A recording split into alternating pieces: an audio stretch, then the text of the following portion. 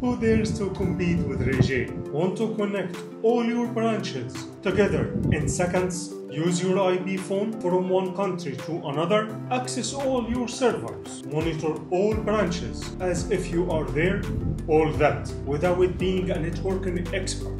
Just by using Ruijie Easy Gateways. If your HQ has a fixed public IP and both your gateways under your cloud account, you can do it just like that. No more token, check this out.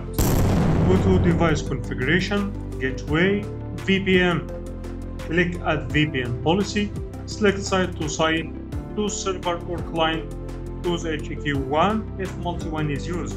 Select HQ subnet, select the branch project and the branch subnet, then hit add.